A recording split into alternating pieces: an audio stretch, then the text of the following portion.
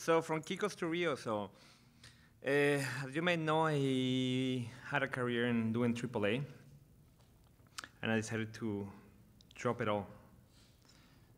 So let me go here. Ta-da, ta-da. Open.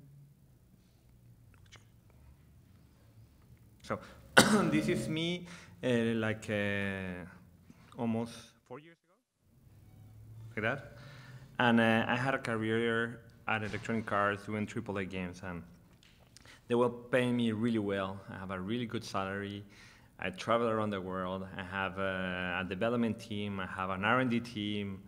I was having a blast, and, and but still, I was not happy at all. I was, I was like, how can I have all this power and not be happy? and uh, one of the, so there was a friend of mine who was doing a, her master's degree, and then uh, his professor asked her, uh, in order for you to finish your master's degree, you have to know why you're doing what you're doing. And I were like, oh, well, that's great. I had never asked my question, what am I doing games? and then I started going back to my childhood, and I remember when I was playing Mario, and I was playing Mario, and I was working on it like for hours and hours to defeat Bowser, and then I left my controller in the floor, and then I come back to my reality, and I had an alcoholic father. And nothing that I did in Mario helped me to cope with my life. In fact, it was detrimental to it. I was like, I, got really angry at video games because suddenly they were not a, they, they were not helping me. So I said to myself, I'm gonna go out to create a game for that wounded child that I was to, uh, to actually help them to to cope with their, to, to, to cope with those situations. and then um, I started thinking, what am I doing AAA games? These games are not helping at all of all those people who are in need.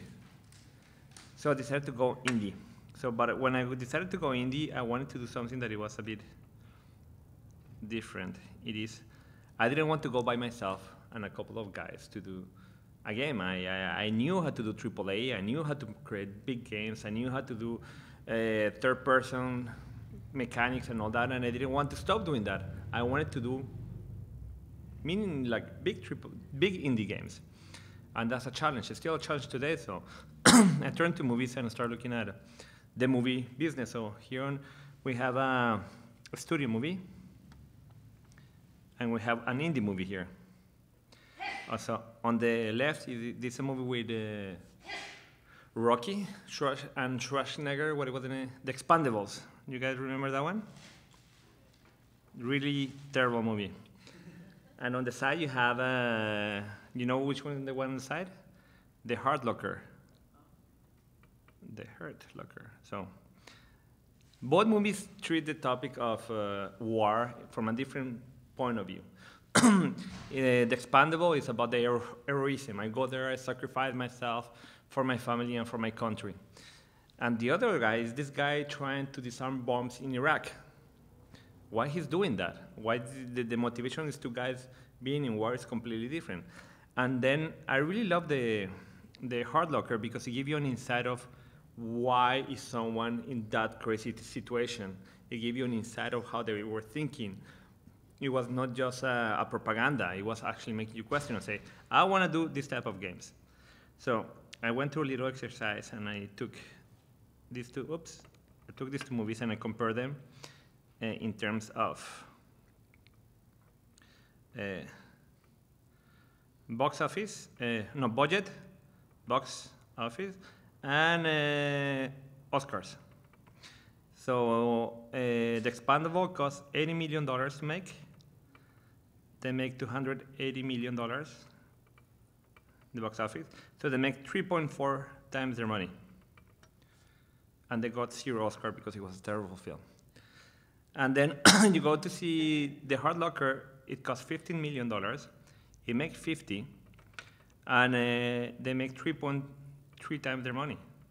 And it goes six Oscars because it's an amazing film. So I'm like, wait a second. If this has happened in the indie side of, of, of films, I'm sure we can make this happen in the indie side of games. I don't think indie side has to be 2D pixelated. I love Pixel and I respect it, but Pixel it is uh, it, it's not accessible to many people. My mother will see a pixel game and she goes like, I don't get it. But uh, if I let her walk in the streets of Grand Theft Auto, she'll like, oh, I know where I am. I know how, how she, she'll be connected to the world a lot easier. So I decided to go and do this type of indie games. So Papo cost 1.5 million. I got a, uh, it was a bit of funding from uh, the Canadian government, from Sony, and money from our pockets. so going outside to make a, a high budget indie games, I, I got confronted to a little challenge, and it's like producers. because when you're dealing with budgets above $1 million, you need a producer. And then uh, there's a difference between producers. So I got confronted in Montreal to pitch my game to producer, game producers coming from game, and also to producers coming from indie film. And it's completely a different world. So they both have something in common that is really cool. It is that uh, they are both there to find money, to make products. The difference is what do you expect after your product come out? These guys, the game producer on the side, they think of profit. They want money. They're Steve Jobs wannabes. And they usually, if they get money, what they do is they're going to buy themselves a Porsche if they don't already have one. And that's what they want. On the right, uh, indie film producers, if they get money, the first thing they'll find is a cottage in the woods to go reflect on life. And I'm going to put a bit of water there. so it's a completely different stuff. So uh, it's kind of uh, the corporate values uh, versus uh, corporate. Oh, sorry. The corporate values versus uh, uh, independent values. And when I came out with Papo, I go there, I left EA, and I started doing my, my little prototype, and I went to game producers. They went, they freak out. It's like, you cannot do this game. No, no, you cannot talk about alcoholism. You cannot do stupid, don't do it. And, and, and, and, and when I went to my partners now that come from indie film productions, I went to the, I meet them, say, I want to do a game about my childhood, my alcoholic father. I said, oh, good, let's talk about it. And then we start talking about alcoholism and the impact on society and how to live it and, and all the aspects of, of the storytelling and, and that one. And I went, wow, this feels really good. What is not happening over there? So I decided to partner with people coming from uh, indie film. And I think that uh, it's something that we need now. There are not that many producers, or any that I know, that are interested in doing indie films. And one of the one of the, the cool things about when you're um, my partners, they do a lot of documentaries. They care about the product. They care about how the product impacts society, and that is it's really different from from from from, from a guy from this side. Now, let's go to Army of Two. You guys know the. Uh, have you played Army of Two? Do you know about Army of Two? Okay, so Army of Two is a third-person shooter game that is co-op game. So suddenly you have to uh, protect your body. So suddenly you cannot let your body behind. You have to help him to go um, to go through war. And uh, what happened with that game is that uh, let me bring you here. Uh, what does uh, Blue Eyes, uh, A Beautiful Girl, and the World have to do with Army of Two? Thank you. So what these things have in common is that you may not know this, but uh, when I was a kid, we have really big satellite antennas in Colombia, and we were capturing the signals coming from every US TV channel. So when I was a kid, I was it's me in my bed with my big eyes watching TV until three o'clock in the morning every day. And then uh, I woke up in the morning, I go look myself in the mirror, and then ask myself, I don't have blue eyes. Am I gonna get the girl? It was terrible. It was really, really, really bad. And and and I don't think that you guys do it in in in in, in as, uh, as a, you're not pouring Caucasian heroes all around just to make your content an imperialistic way to go into another countries. I don't think that, or some people might. but what happened, they have a huge impact on, on, on, on, on uh, the people playing this content. So suddenly when I was at EA and I was actually deciding the content that I was going to be giving to all these people, I remember being at the table surrounded by Caucasian people designing the two heroes. And the two heroes were supposed to be two Caucasian guys. And I say, if you do it again with two Caucasian guys, I leave this fucking team. You need to put an immigrant. And then we got into this huge fight, and I convinced them. So suddenly, this is uh, finally, this is Tyson. So we have uh, Tyson Rios in the back. He's, uh, you don't know where he comes from. He could come from anywhere. He's a bit darker, and we have our blue eye hero. So they both live together. So that was my first uh, win that I have at, at, at, Electronic Arts, shaping the culture, and I felt really, really, really proud about that one. So the next one it is uh, the tampon story. So I'm gonna start the tampon story about Army of Two. I never told that one before in public, so. this is the tampon story. So if your body got wounded, you have to go and heal him by sticking a tampon on him. Where does this, like, how did this crazy thing happen? So I want to tell you how it happened. So again, a gunner's skull. Let me draw something really. My father was killed when I was 16. He got shot in the head. And uh, it's a really horrible experience to live that one. And you're always guilty thinking that you hope you could save him, even he was an asshole. I always wanted to save him. and so then I was in Army of Two, and uh, I wanted to do a game about healing people. I wanted to save my father. So I, one weekend I went in, a, we had the discussion about the healing mechanics, and then I said, no, I have to do something about healing. So I did a prototype. Remember the human body product that they took someone and they sliced it in little pieces?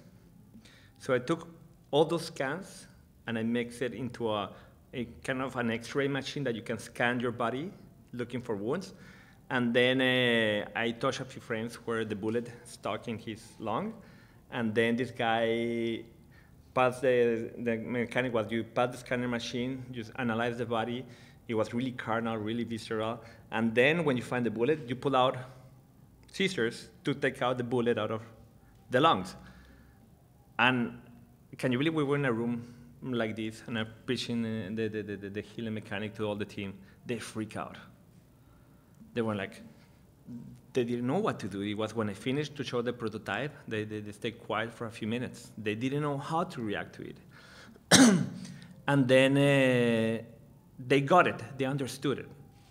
And the meeting ended up without a conclusion. Is in, is out, how are we doing? It was, they felt so comfortable, but they felt that it was important.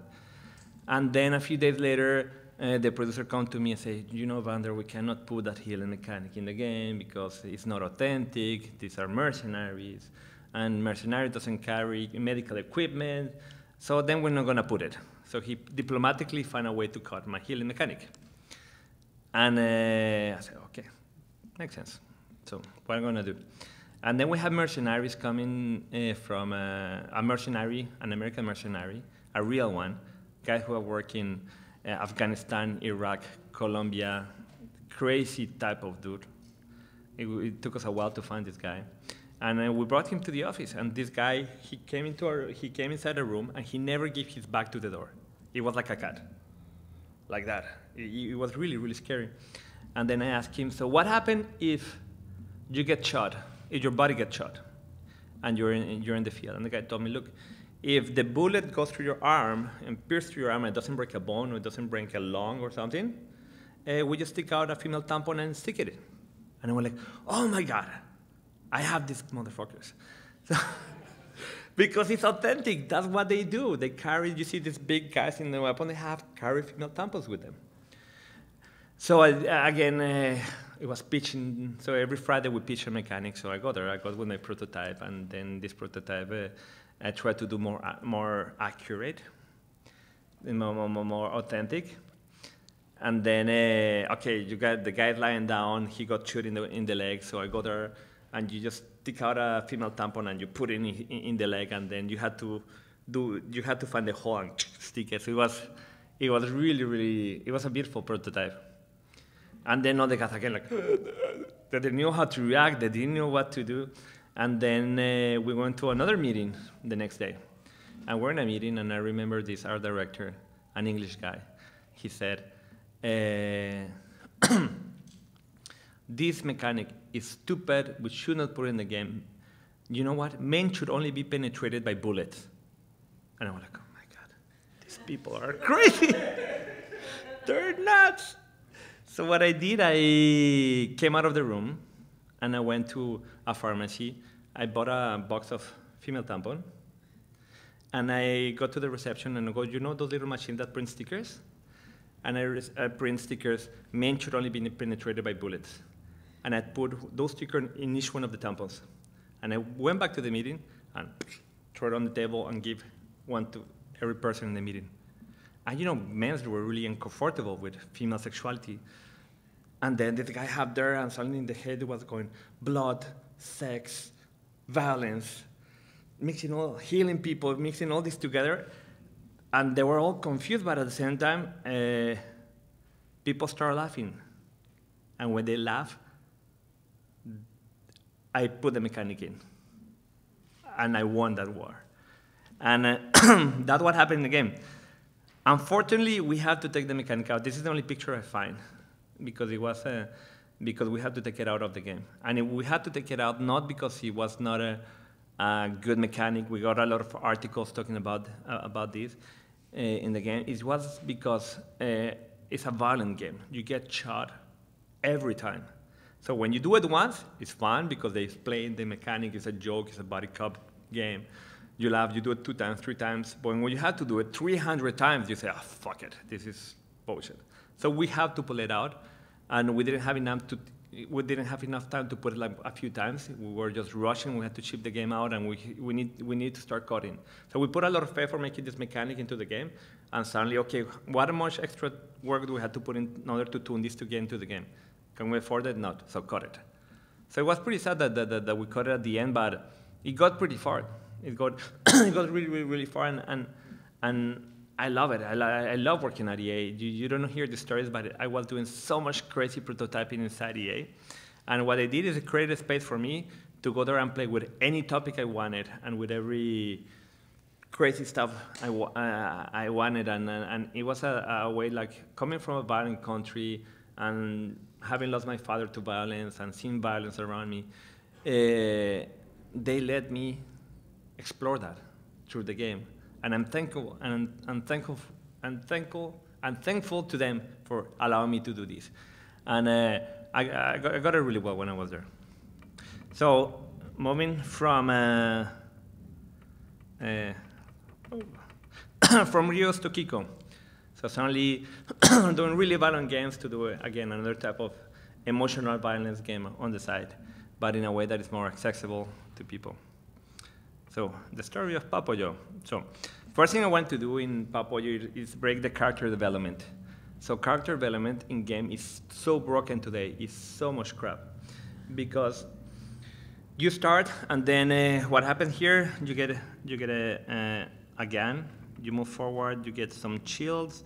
You move forward. You get a bigger weapon, and this is what happens to you. So you start like something then, okay, uh, you get first, uh, okay, the head. You get a bazooka arm, like something like that.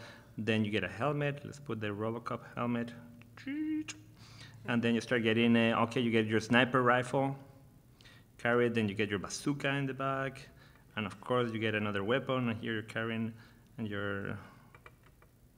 And then you start looking stupid, something like that. It's just a shielded person against the world. And we don't solve problems like that in real life at all. Real life is not like that. In real life, like if I'm talking to my wife and then I tell my wife, the moment I have a gun in my hand, you will understand what I meant. Just slap me and it will never go anywhere. So what I wanted to do with Papoyo, I wanted to completely erase that and change the character development mechanic we have right now. So what I did is started with a kid in his uh, school uniform and Slowly, slowly, as you were progressing with time, you become weaker and weaker and weaker. You start losing piece of your clothes. So you start with it, you, you lose your blazer, you lose your shirt, you lose your, uh, your shoes, and at the end, you're just almost naked. And uh, people felt that the character was getting weaker and weaker as you progress through the story. He was not, it was the same mechanics. But people assumed that he was getting weaker. to the point of, to the point that actually we brought it to such a this point of weakness that you were willing to hear to be open to the story for, for example like and i think that i find this moment really crucial if you can bring someone into a game there for example like if i go and i'm fighting with my wife and and i go back and i'll tell her look honey when i come back from work and you don't recognize all the effort that i do for the family it hurt me what I did there, I just opened my heart and I'm vulnerable to what you have to say to me. I'm vulnerable to your judgment, so please help me here.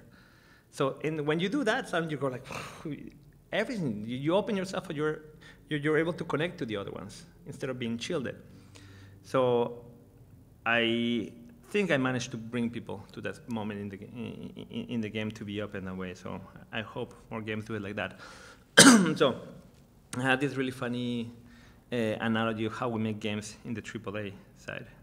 So we separate story from core mechanics, completely separate. So certainly, I'm gonna do a $50 million game, okay? So, okay, to make your, your money back, you have to do a first-person shooter for sure. Otherwise, you cannot make your money back. Then let's add some inventory here, so you can have some progression.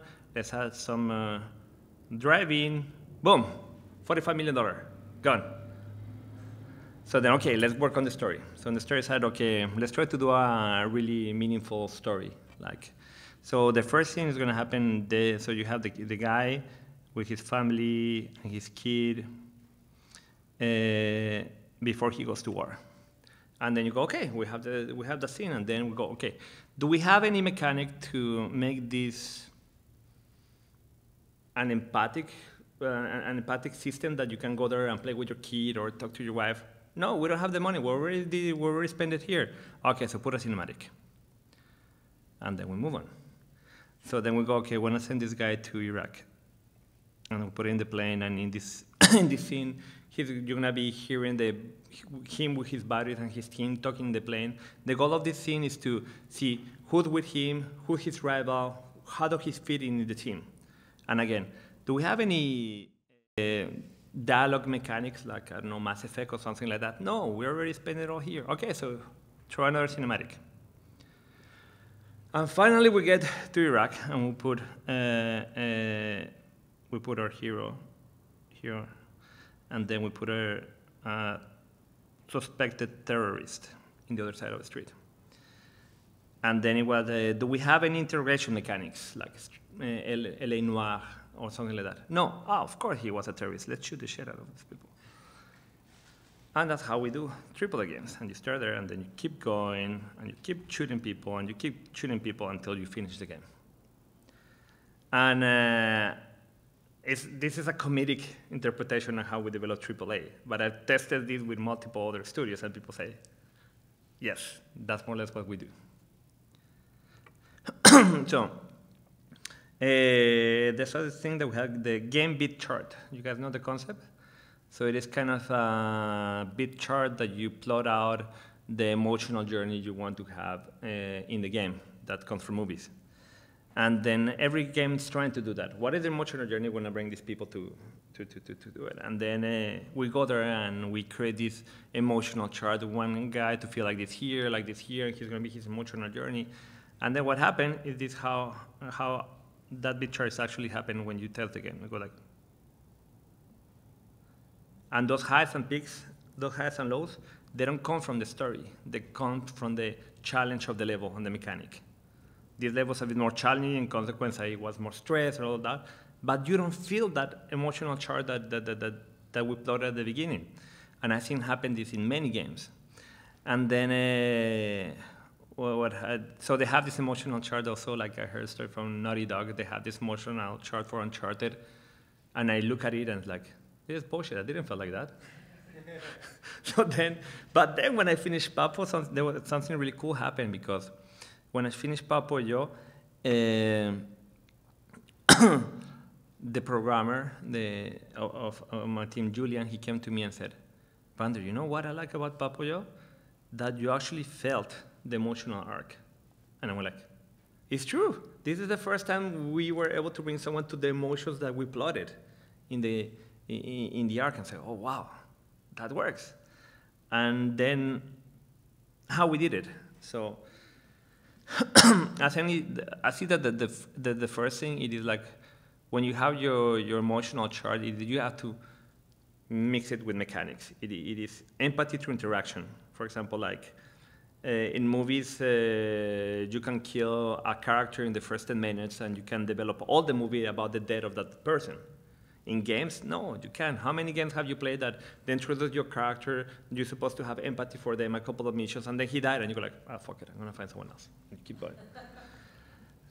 so suddenly, you, we need time to, to, to create these bonds, and I learned that from Michael. I really care about the princess because I spend a lot of time with her.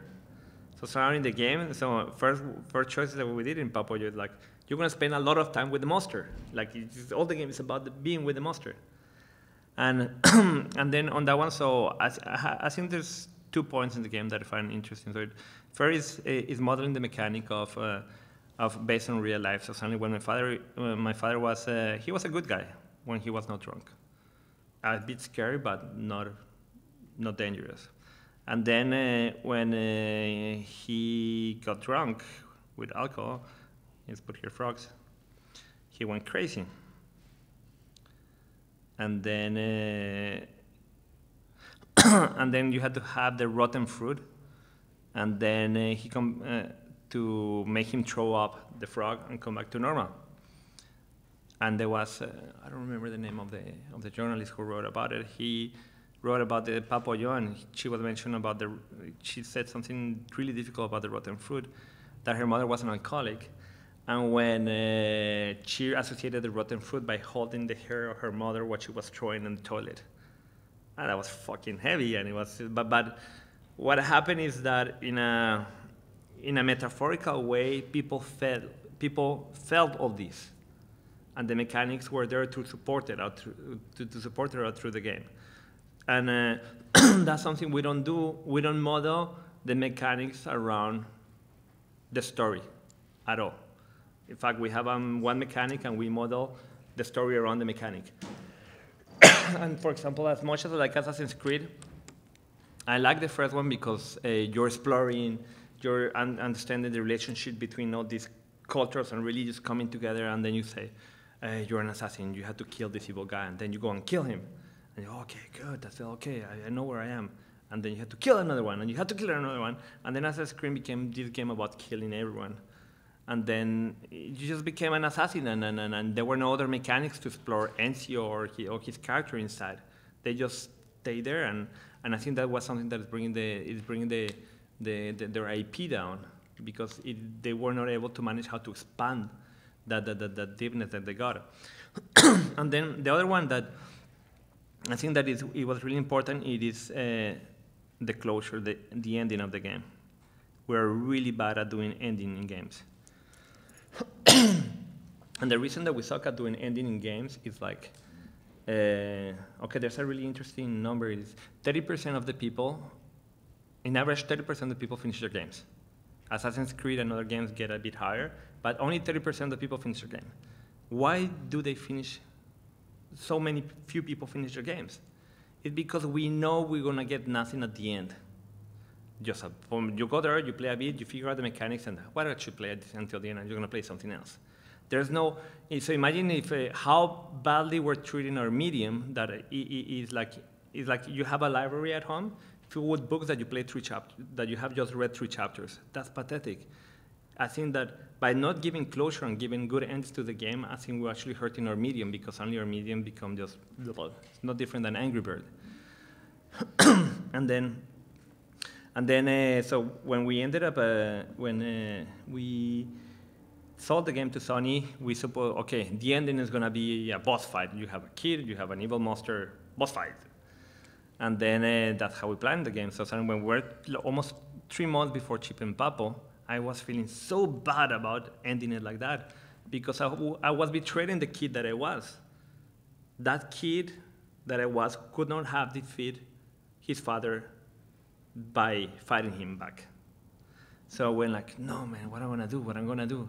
And then I took the biggest risk I could take with the project, and I went there and, and I completely changed the last act of the game. Three months before shipping, and I went there and I sit down for two weeks and I prototyped every single mechanic until the end. And uh, what I did, it is, I took uh, all my years uh, in psychoanalytic therapy, and I tried to put it all there. So one thing when you're dealing with alcoholism is that uh, it's a secret. Alcoholism is a secret.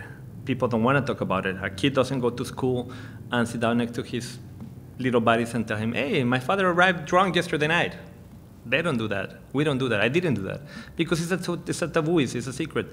So the first thing you have to do is, is stop the denial. Stop the denial.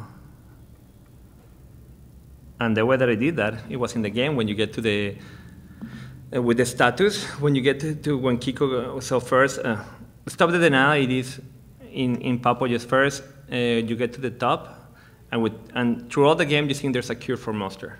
In reality, there's not a cure for addiction.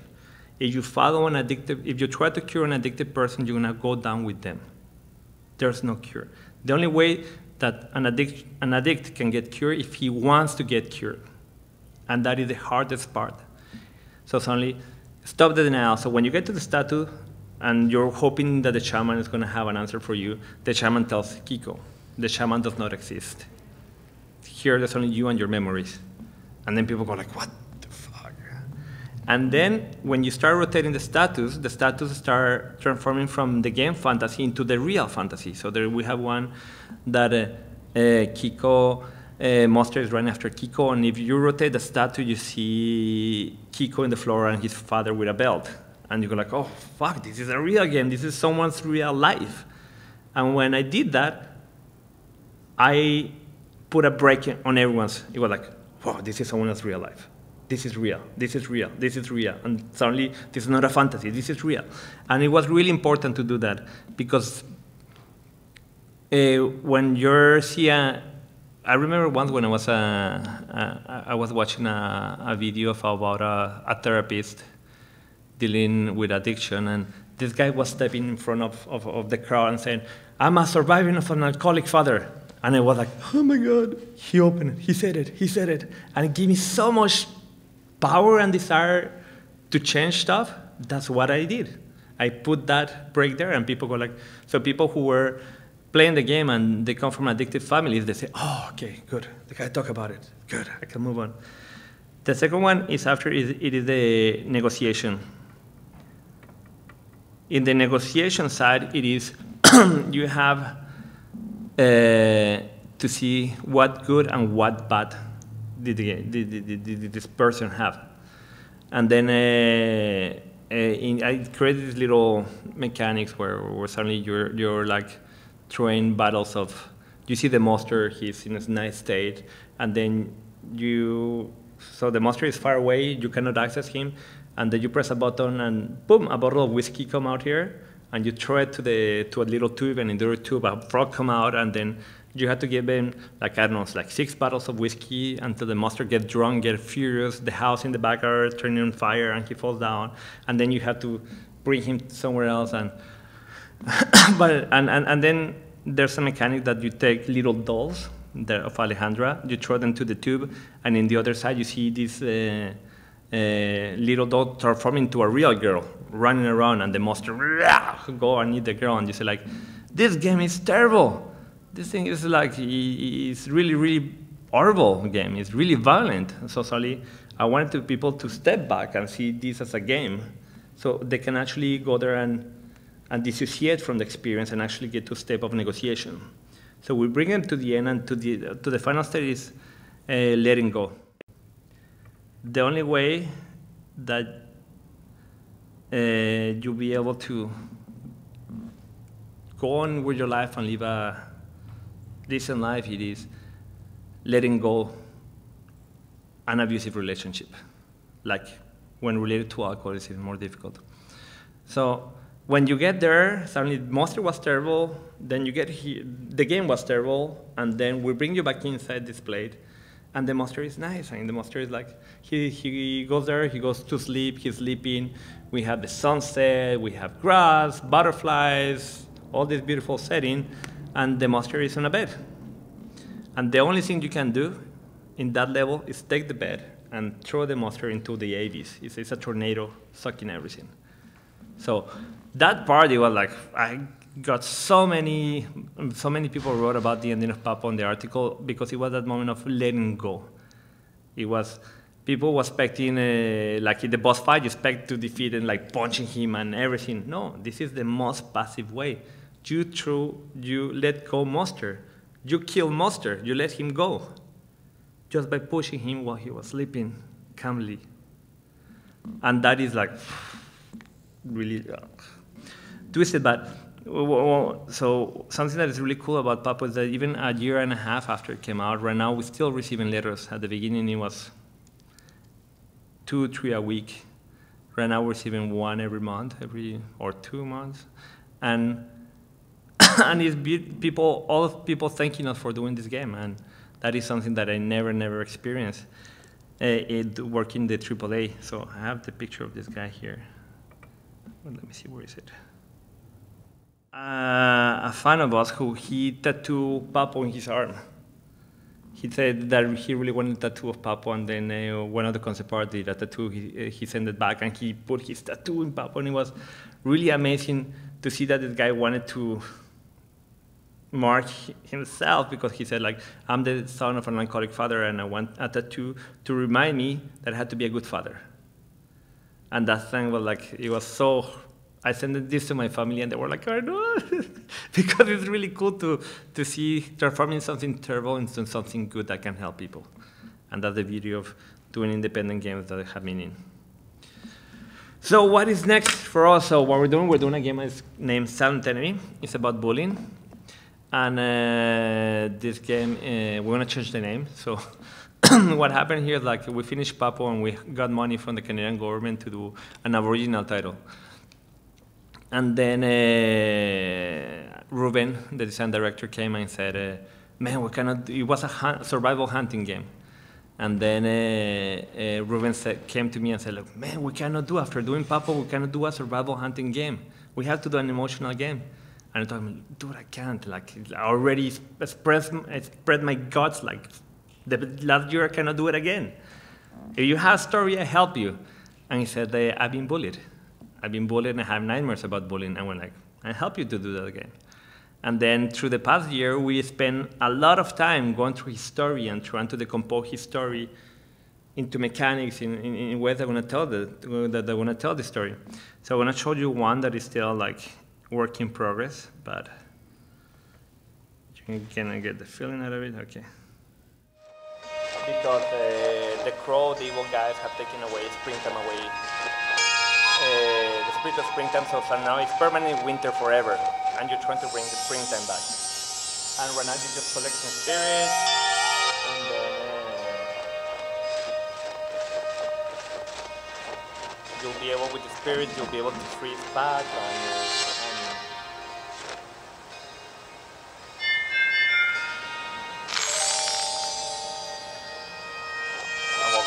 that is not the important part. The important part is this one. Okay, so right now here you're gonna meet the crow, the bullies.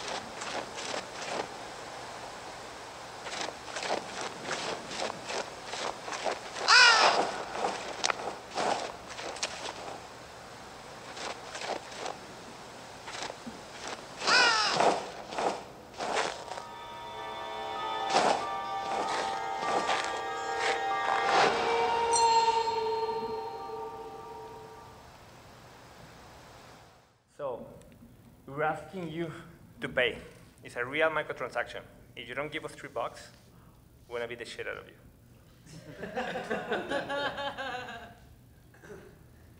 and this is what happens when you sign not to pay.